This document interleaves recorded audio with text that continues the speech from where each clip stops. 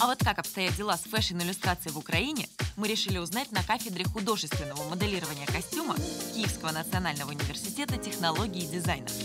Кафедра художественного моделирования костюма ежегодно выпускает почти 50 потенциальных дизайнеров одежды.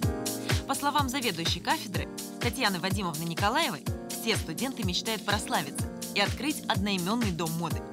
Недостаток средств в украинской модной индустрии будущих звезд дизайна не пугает. В обязательной программе кафедры изучение рисунка и графики, то есть основ модной иллюстрации. Подготовка университета дает возможность каждому студенту профессионально заняться иллюстрацией, если вдруг не сложится с дизайном одежды. Но надо отметить, что вообще специальности как таковой э, Fashion Illustration у нас, к сожалению, нет официально. Но наши студенты, которые будут заниматься моделированием, они в обязательном порядке изучают все предметы, которые направлены на владение способностями грамотно подавать свои идеи, образы костюма, эмоциональное впечатление от костюма. Э, Конечно, наши выпускники работают после окончания института, и достаточно много в этой области. Только вот с 90-х годов началось как бы возрождение в модных журналах умение подать свою идею в виде иллюстрации. Это очень важно, потому что фотография, она не передаст эмоции автора. Она скорее передает эмоции того, кто делает эту фотографию. А вот как раз те эмоции, которые переживал автор, создавая свои модели, то впечатление, которое он хотел передать людям, оно ярче всего выражается именно в его рисунке.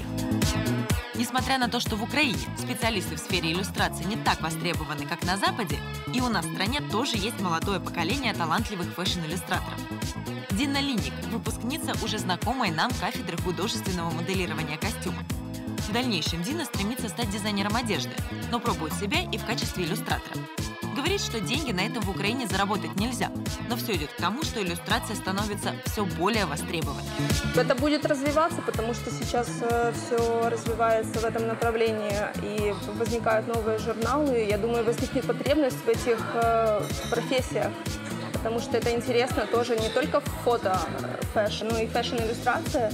Она как бы дает новые возможности для журналов. Интереснее смотреть, когда не только фотографии, но и какие-то интересные коллажи или картинки, или адаптации там, каких-то костюмов в виде рисунков.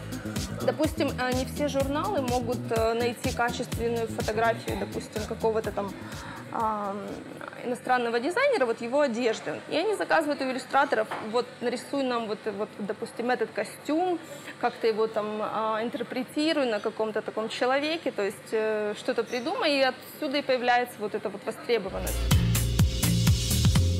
Полина Медведева – пока что единственный в Украине иллюстратор с серьезным портфолио.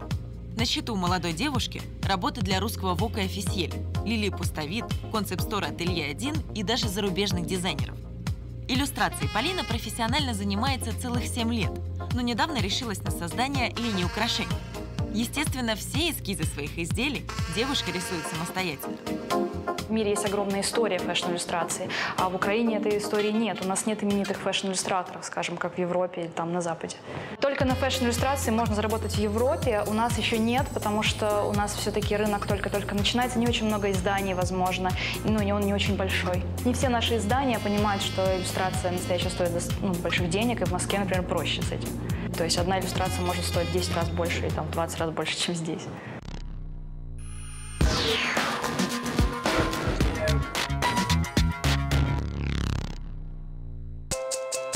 Kiev Fashion Day совместно с торговой маркой Steve Madden объявляет fashion-конкурс TOP-10 New Faces. Мы открываем новые лица и продвигаем победителей. Это шанс для начинающих моделей получить достойное портфолио. Призы – опыт Steve Madden и профессиональное портфолио от фотостудии Icon Photography. Детали на сайте www.top10.ua.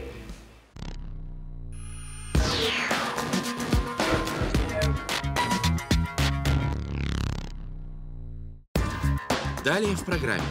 Уникальная коллекция дома Dior, полностью посвященная иллюстрации. Последняя кутюрная коллекция Джона Гальяна.